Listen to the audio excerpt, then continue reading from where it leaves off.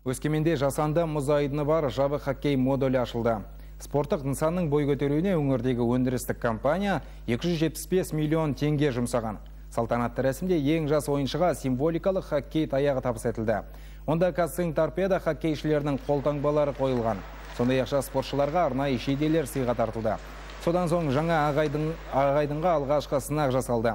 Жастар өзінара жолдастық кездесу өткізді. Модульдің аумағы 3000 шаршы метр, 200 жанкер жайғасатын трибуна бар. Мұнда балалар жыл 12 ай конькимен байланысты барлық спорт түрлерімен шұғылдан алады. Бүгінде Өскемен қаласында демеуші компанияның қаражатына осындай тағы бір хоккей модулі салынады жатыр.